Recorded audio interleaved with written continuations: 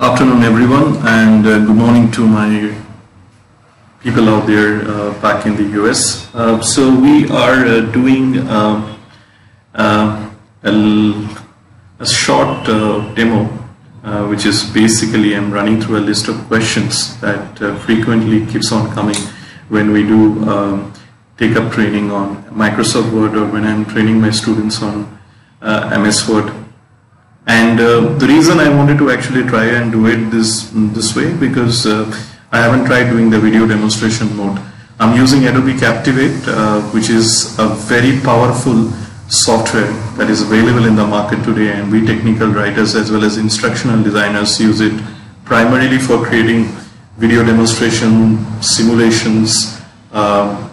slideshows, dynamic presentations, video presentations to be precise um, the various learning uh, and um, you know materials that you want to prepare. So I thought like, okay, let's me do it in a video mode and see how it spans out. So, uh, you know, I'd like to get your feedback on the same. So my name is Rajdeep Gupta and I am the principal trainer and director of Blue Dots Consultancy Services. We are a niche organization offering uh, training services in the areas of technical communication and user experience. And also we are a fully uh, developed uh, recruitment solutions company.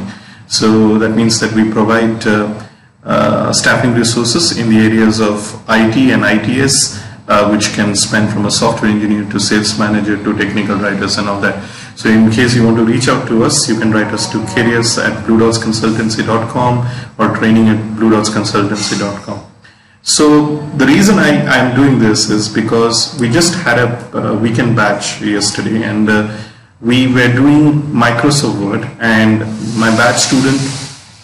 once I uh, once we were done they asked me sir can we prepare some questions or can we take a look into a few of the questions that randomly come in uh, Microsoft Word? So I decided okay fine. Uh, in that case let me just come across and prepare a list of questions that you might get uh, in, in interviews or certain uh, task related to features which you should be knowing in MS Word. So what I have done is that I prepared a list of questions and as you can take it across, so right from what is a template to a document, difference between template and document, the various file extension for that, how do you create a new document based on a template, the various types of style, how do you create a table of content, list of figures, list of table, then the different types of pages that you can create, inserting a table, uh, can you use, how to insert the shapes of the flowchart, if you have a snipping tool, can you use that in MS Word? Very powerful tool that is how do you create an online help, um, the various types of bookmarks, hyperlink, what are those, uh, how do you differentiate between them, where the application related sort of a feature is this.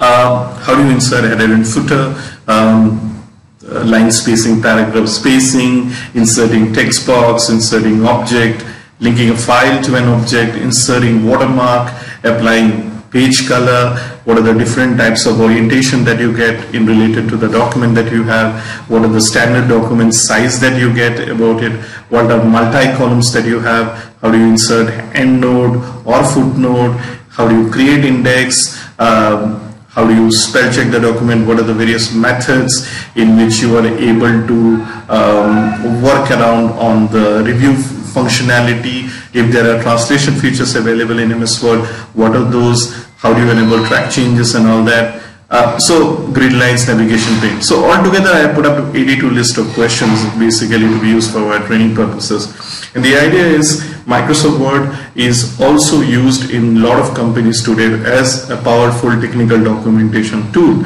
And we create right from the various kinds of manuals uh, that would be engineering related as well as in user manuals technical writers should actually know my MS Word uh, pretty well in order to do that. So if you're looking out for some sort of a training on that purpose and if you want to get in touch with us, to write us to write to us at training at bluedotsconsultancy.com or uh, uh, you know just visit bluedotsconsultancy.com. Thank you very much.